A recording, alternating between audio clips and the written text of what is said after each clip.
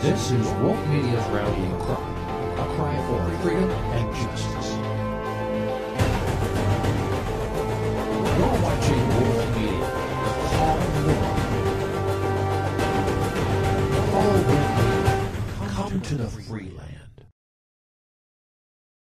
那本来今天我是没有要发言的，因为本来是要这本书要新书发表会， 那后来我们提意见在九月二号已经发表，那我是说那今天我就不用了，那还是雪域之后，就卢老师坚持说你一定要说还是要你要感要感谢曾经对帮忙的，那这样然后这个题目也是。卢老师帮我写的，我在流亡中为儿妻在而战。你不要紧张，你慢慢来。我先讲一下，时间有，好好。你有二十分钟，你慢慢来。那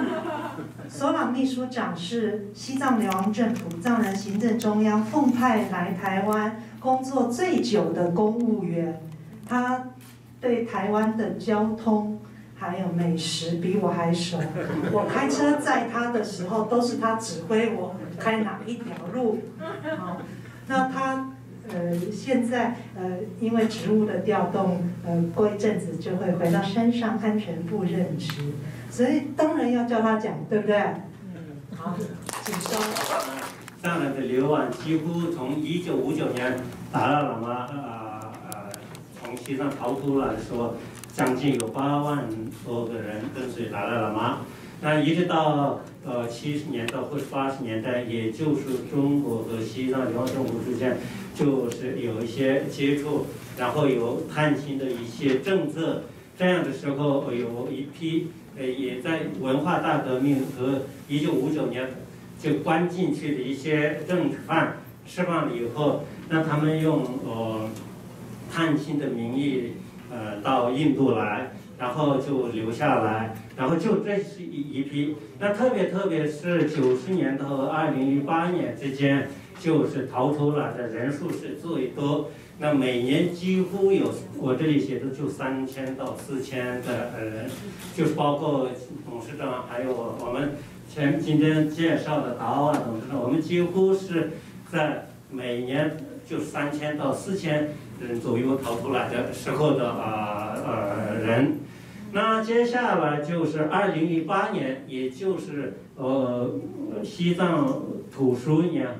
和平抗议，那个是全西藏的一个抗议活动。那从这个抗议活动开始，那中国政府对边疆边境的管控更加呃严控，然后有先进的一些监视器啊那些。后来那时候就逃出来的几乎很少，一直到武汉肺炎的前期间，几乎我从前前面讲的从三四千，就是一直降到几百人甚至几十个人的呃数字。那接下来的武汉肺炎期间，就是只有只剩一两个。刚刚我们前面就讲的其中的之一，这是大概呃从一九五九年到现在。流亡的一个大概的一个呃人数，那为什么这么多的藏人流亡出来的？他最最主要的原因就是仅见达赖喇嘛一面，然后听听达赖喇嘛的呃教诲，就最终的大部分是目的是这样。然后接下来很多好，因为我到在在呃，毕竟在呃境外就是印度有我们的流亡政府，还有达赖喇嘛，那我为那边做一些服务。或者贡献，也有这种。那以前在呃西藏一些就是呃一直教育中国方面的那个呃，就说汉人都那个连呃藏文都学不到，呃西藏人光光那个教中文那些的这样的一个体制时候，很多父母把自己的小孩宁愿送到印度来学到呃传统的。文化那些，那更多的人，因为呃西藏的宗教的法脉是一个传承，传承是一个上师传承下来，那很多西藏的各教派的上师几乎都在印度、尼泊尔、不丹，所以很多要传承的时候，他们只能到印度来。所以很多也是为了这个传承而流亡到印度。所以类似主要主要是让这些的呃目的或者目标到印度来呃流亡。那到了流亡以后，就我跟我这个题目一样，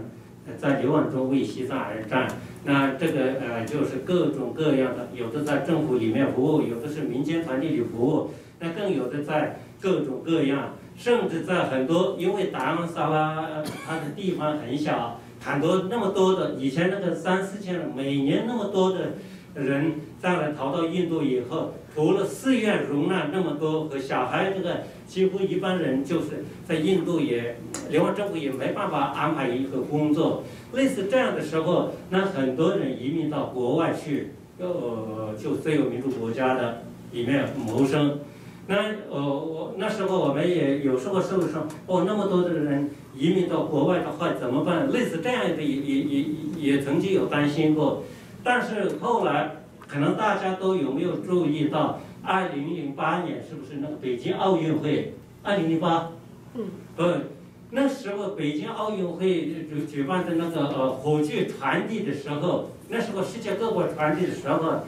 那么多的流亡藏人来抗议，那时候我们才发现，哦。在流亡海外的，虽然在他们在呃那些国家谋生，过过自己的生活，但是为了西藏的时候，他们还是还出来。所以现在很多欧美国家，特别是美国、呃加拿大、呃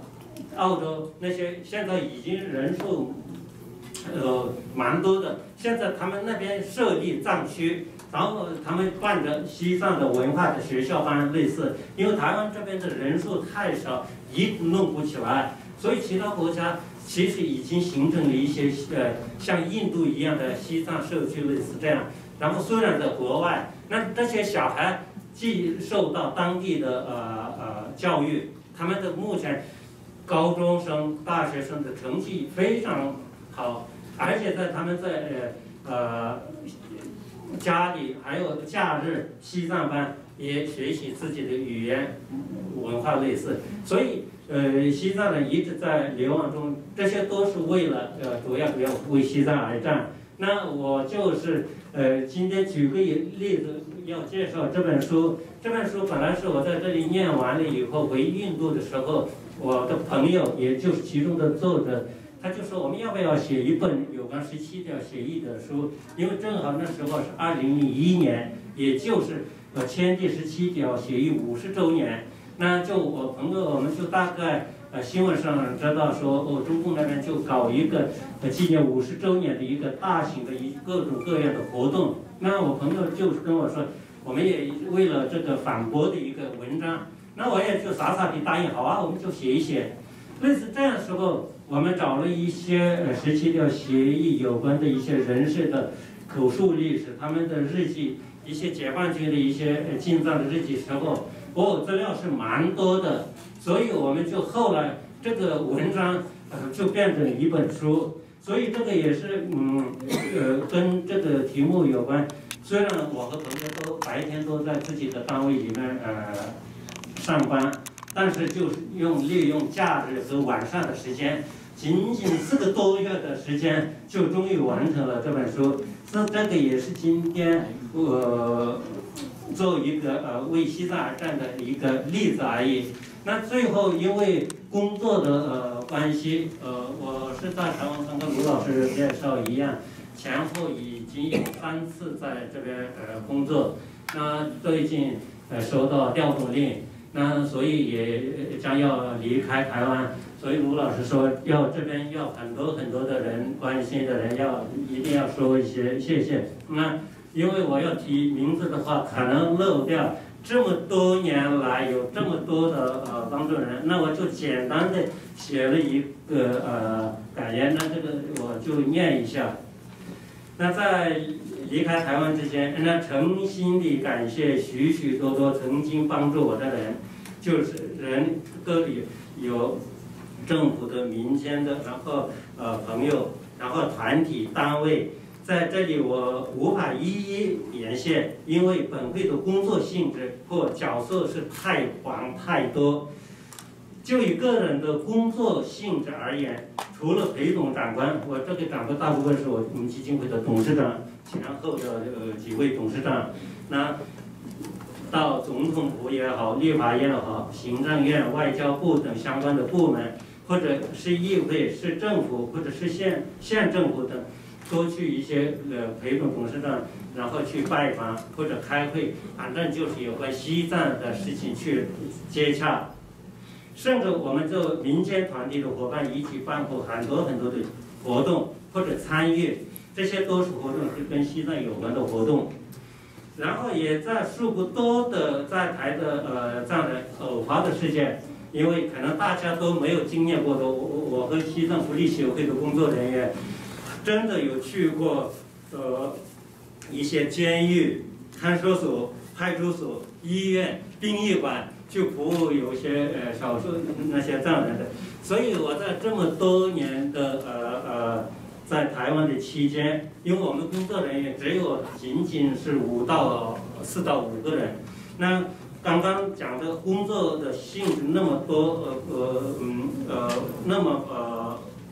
广，那个时候我们几个人根本是没办法做得到，所以靠着很多许许多多的。在座的卢老师他们雪域支部也好，老师他们，因为今天特别想呃介绍一位呃张小姐，因为很久很久在内政部工作，因为基金会毕竟是在内政部登记量，我们常常在那边呃办事情，因为他们那时候比较老的工作人员知道，基金会虽然在内政部登记量。但是他还是驻外单位，所以他们都是那时候以驻外单位的方式跟我们那个呃 办理这些，所以这些都我是呃没没有办法忘记的，所以很多有各种很多更多更多的故事要可以可以分享，但是因为时间的关系，所以我只能到这里，然后最后诚心的谢谢大家对我的工作上的帮助和指导，因为很多是。因为刚到是人不熟地不熟时候，大家都因为文化不一样，这些都都需要指导。所以感谢所有的这位一些，像今天议会会议什么外面很多的这种，这些都是每年都是对基金会的帮忙。那继续我们因为呃藏人还没办法解决西藏问题的时候，继续会流亡。那虽然我在离开台湾。请大家继续支持西藏基金会董事长领导的工作人员。谢谢，谢谢，谢谢苏科长。